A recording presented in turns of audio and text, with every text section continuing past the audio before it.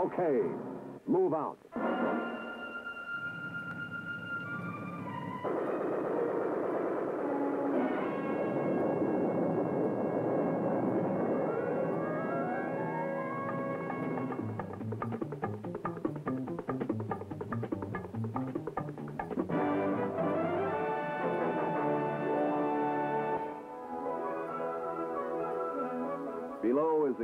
States Army base in the Republic of Vietnam. The usual layout, the usual equipment, the usual tents. But here too is the unusual. For here begins a four-phase training program that gives the soldier his baptism of fire before he engages with the enemy. A program dedicated to his combat survival, with the theme stated in four simple words.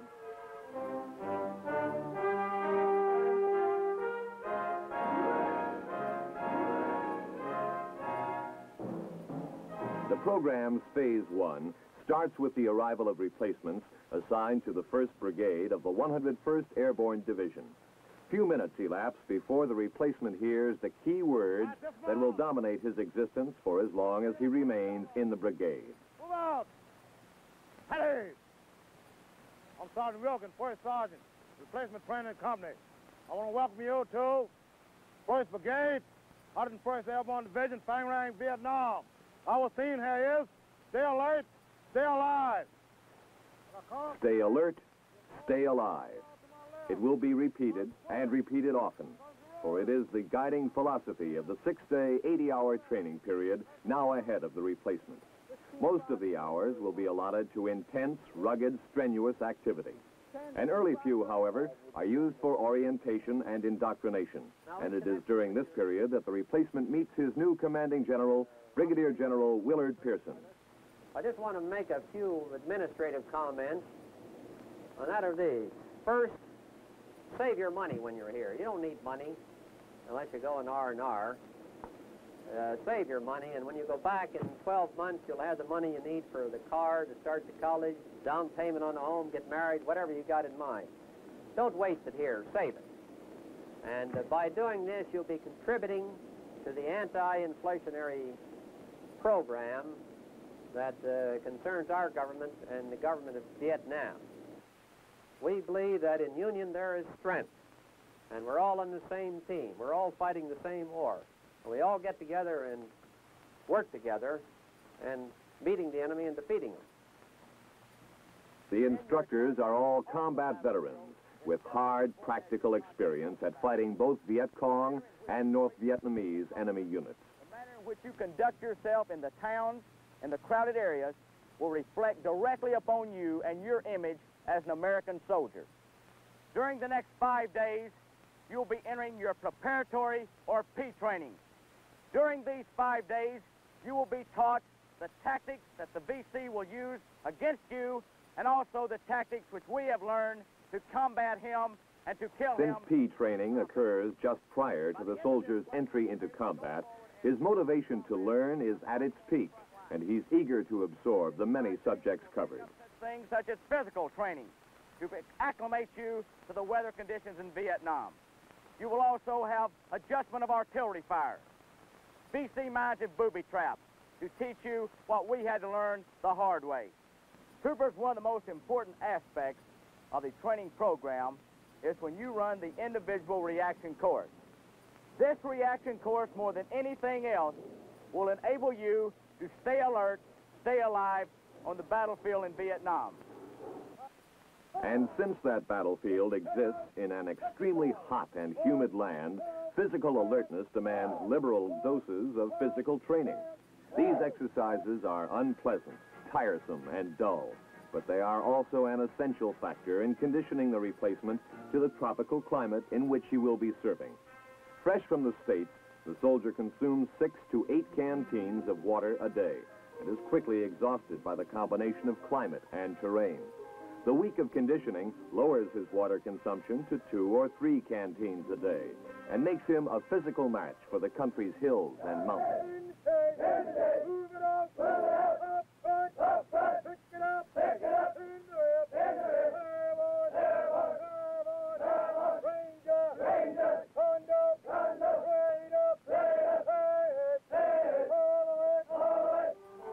In this school, instructors use training aids designed by the enemy himself. They occasionally make their points with explosive emphasis. You with VC mines and booby traps, both local and hardcore.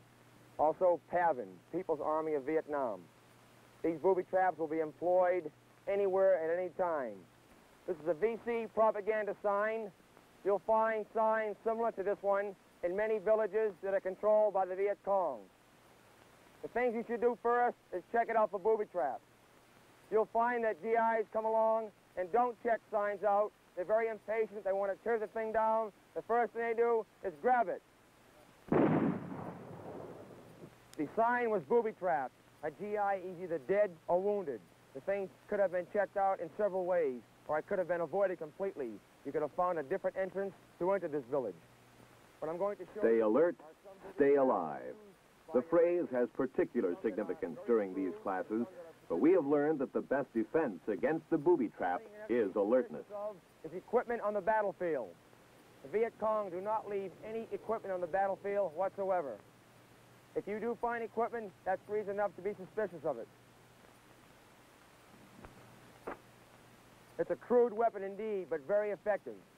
All it is is a weight, bamboo, and some nails. It may not kill you, but it'll knock you out of action. Later on in the class, we'll show you the methods of removing equipment without reaching down and picking it up. This is a foot trap, usually used by the Viet Cong, local guerrilla, and sometimes the hardcore. When a soldier walks along, he goes through the camouflage and strikes the trip device. The trap closes on the man's foot. The spikes could be spread with filth or some type of poison. This would not kill you, but this would knock you out of action for a, a week or two weeks. Ways of detecting these traps, you could take a long bamboo pole, approximately six feet long. The point man could walk along, probing the ground, looking for these traps. The second man in column would have his weapon ready to protect the point man.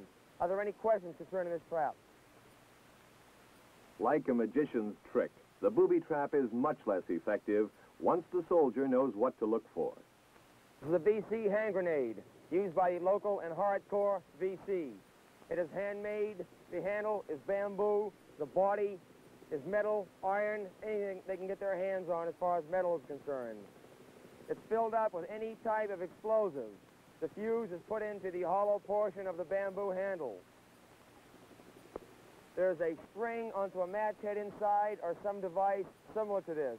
When they pull the string, it ignites the fuse and the hand grenade bursts. This is a defensive type hand grenade. This is a North Vietnamese mine, identified by the Min written on the mine. This is similar to the hand grenade that I showed you previously, only this has no time fuse. This end is tied to a stake, this end to a tree or another stake across a trail. When a soldier walks, he trips the wire, the fuse is pulled, and this bursts immediately. That gentleman was the anti-personnel mine M18A1, commonly known as the Claymore Mine. If you look... Having been impressed with the enemy's booby traps and mines, the replacement welcomes the extensive coverage P training gives to our weapons, such as the Claymore mine. We have learned that the Claymore, a valuable weapon against guerrilla forces, can be used most effectively and safely only by soldiers who have been thoroughly briefed on its capabilities, have seen what it can do to a target, and have had practical experience at using it. seemingly go off at one time. Now what I want you to do is place your steel pots on your head, get down in the prone position facing into the blast. Facing into the blast. I do not want you to look up. Do not look up. I want you to cover your neck. Cover your neck with your hands. All right, gentlemen, keep your head down. Burn the hole!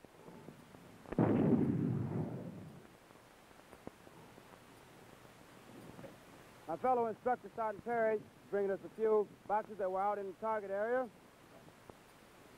This box here is a Claymore crate. Claymore box, you can see, is pretty thoroughly saturated with pellet holes. As you can see, the Claymore man is a very, very effective weapon. All right, Sarge, I want you to take your Claymore mine, set it up, You're aiming pointed up there as your target your front. I want, what I want here mostly is group participation. I want men to aim the mine. I want men to run the card back. I want another man to use the M57 firing device. Make sure that the man This is training in actuality. The schoolroom is in the backyard of enemy territory. The lessons are shaped and reshaped by current combat experiences. And the tools of learning are the same devices the trainee will soon use against the enemy in the field. Here there are no mock-ups, no simulators, no dummy rounds.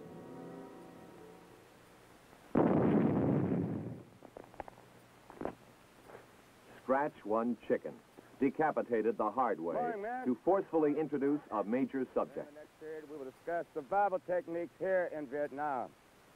But if you find Techniques of great value to soldiers whose units, whether for planned or accidental reasons, might be isolated in an unfriendly environment. Helicopter. Your helicopter was down. First, salvage all possible equipment. Second, move away from your aircraft or whatever the situation may be. Move away to an area and hide. And third, you must form some sort of a plan. Once you form this plan, stick by it. The things you do over here that comes natural just might be the tip-off that'll give you away. Good example, chewing gum. These Vietnamese people here, they don't chew gum out in the woods. So just keep it in mind. Things that come natural just might be the tip-off to give you away. Vanquish fear and panic. I don't think there's one person in the classroom here doesn't have a certain amount of fear. Fear is good. Fear is nature's way of giving you that extra shot of energy when you need it. You might only be 25 meters from help. Start feeling sorry for yourself. There's many things that enter your mind, such as giving up, surrender, when help again might only be 25 meters around the corner. Since survival in combat can sometimes depend upon the ability to distinguish sights and sounds, P training includes familiarization with captured enemy weapons, a briefing that also serves to boost the replacement's morale.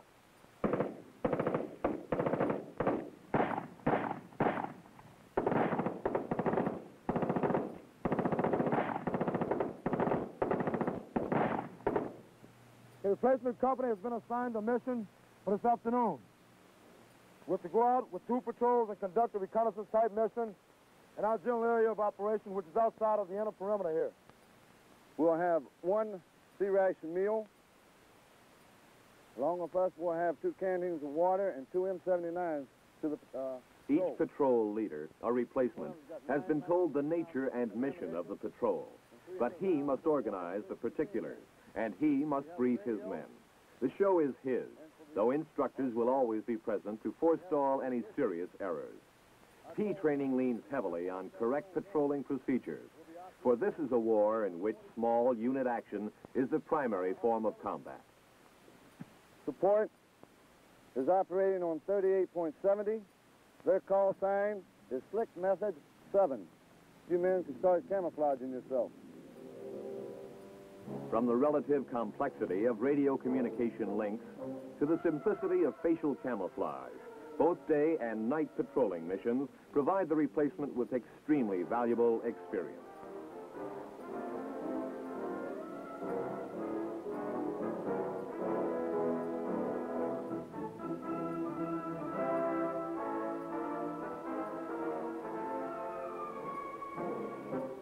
Training patrols are conducted beyond the perimeter of the base camp, and the enemy has frequently acknowledged their presence with sniper fire.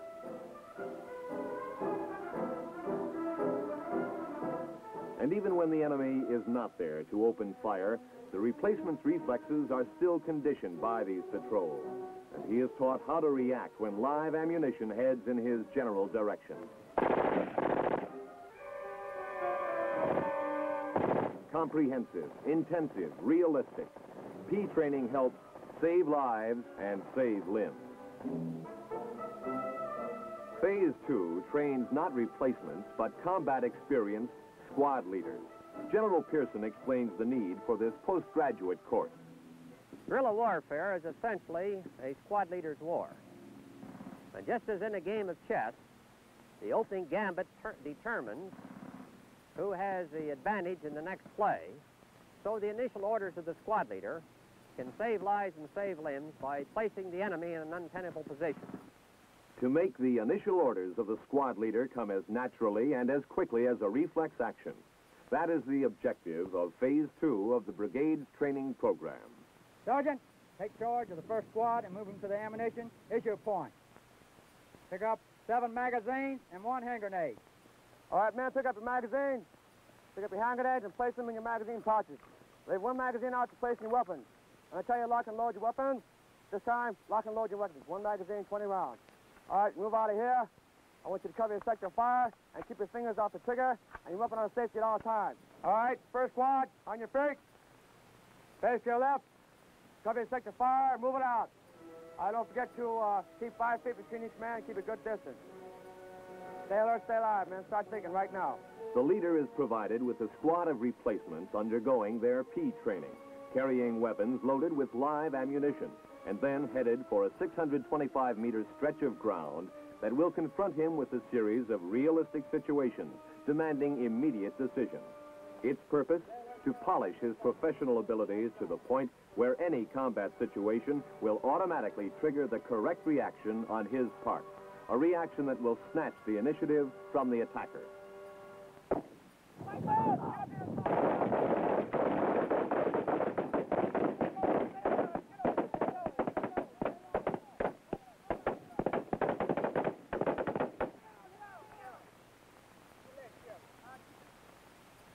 All right, Alpha team, Bravo report on me. Give me situation report. Let's go. Get over here.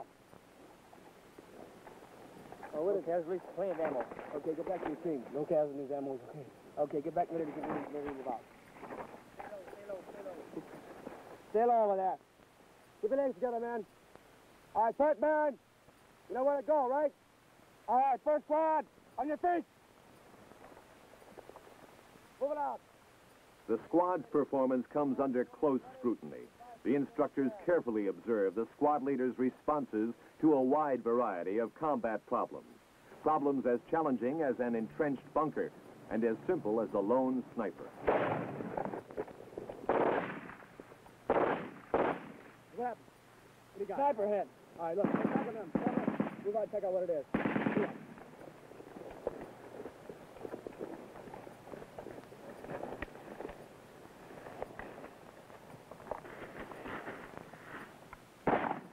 Good job. Okay, first squad, on your feet. There is stress on method, deliberate, methodical technique. The reaction course is designed to be habit forming. But these are habits that will save lives and save limbs when later actual combat duplicates the situations faced here.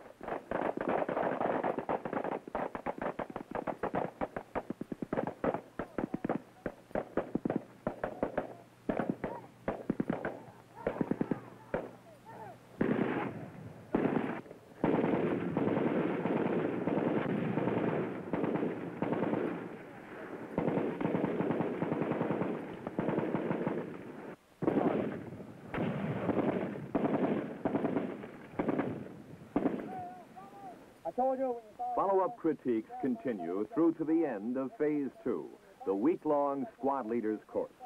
But the brigade's training program is not contained within a time slot, nor restricted to the one location. Where the brigade goes, the program follows. When the replacement joins his unit, he is taught to fire his weapons, individual and crew served. He participates in platoon and squad live firing exercises, rehearses air mobile operations with live artillery and TAC air. At 1400 hours today, the 3rd Platoon will conduct a heliborne assault to seize and secure objective area Abu. This will be a training operation in conjunction with normal combat operations. Phase 3, training concurrent with operations, has already given the replacement heavy practical experience at firing his and other weapons used by his unit. Now, it puts him to work in enemy territory. The first ship will have the first squad leader and five of his men. The second ship will be the platoon headquarters, minus the platoon sergeant and one machine gun crew. I want a machine gun on each flank. The first squad will be the base squad in the middle, second squad on the left, third squad on the right.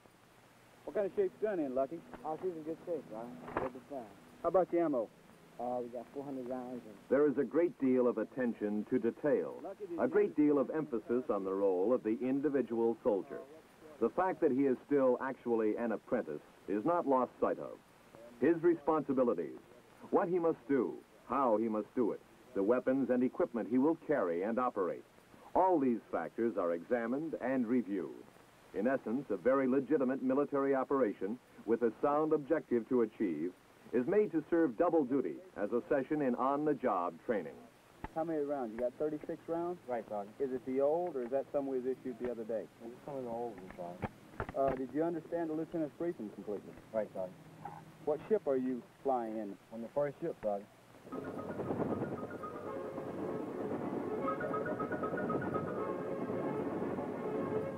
Small abandoned village has been designated as a possible Viet Cong supply storage area. It is not a major objective, but the fire support provided by artillery and tactical aircraft will acquaint the soldier with some of the complicated dimensions of modern warfare, as well as soften any potential resistance to the landing.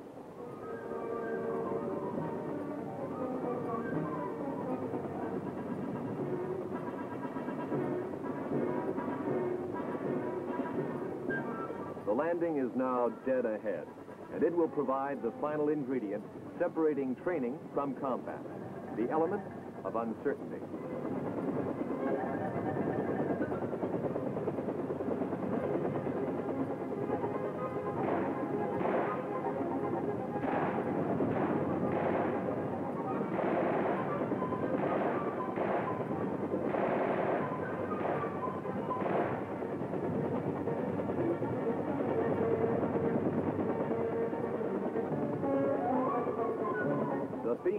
Is safety lies forward.